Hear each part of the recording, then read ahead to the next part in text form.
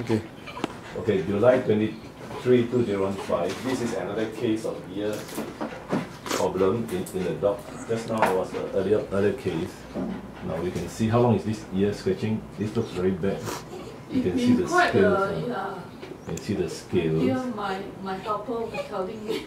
And this one definitely like, you can see the dog is in pain. Okay, so the dog doesn't like it. Now we compare to the other ear. Just turn a bit here, come turn. We compare to the other ear. It should be okay because according to the owner, he didn't scratch his ear. He doesn't mind people holding it also. But it's bad also actually. I. Yeah, you see a lot of scales now.